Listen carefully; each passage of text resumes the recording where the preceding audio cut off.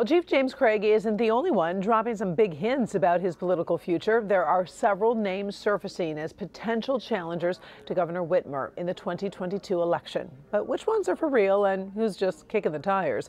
Grant Herms takes us through the list so far. So far, we're talking about 12 names. They're the six who have declared already. They include the long shots, the potentially serious ones. Then there are the names of those who said they were out, but their names keep coming up. There's also the entertainer and the ones that everyone is still waiting on. Of the six already running, there are some known names in conservative circles. Garrett Soldano is the co chair of the Unlock Michigan group, adamantly opposed to Governor Whitmer's handling of the pandemic with close ties to Senate Majority Leader Mike Shirkey, who we'll talk about in a second. Tudor Dixon is a conservative commentator who announced her candidacy this week.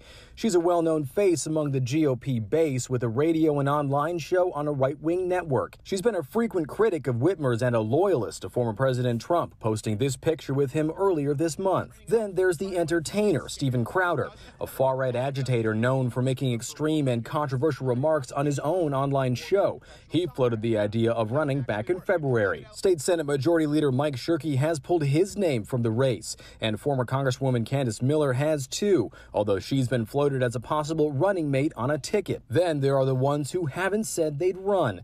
Former State Speaker Lee Chatfield hasn't said he won't run, only that he hasn't thought about it. Two time Senate candidate John James is also on this list. James is frequently talked about, but has lost two statewide elections already, potentially hurting his chances for another run. And maybe the biggest name Republicans are keeping an eye on is soon to be former Detroit Police Chief Craig. Craig hasn't announced any run yet, but Republican sources tell Local 4 he has met with the Republican Governors Association and the head of the Michigan GOP.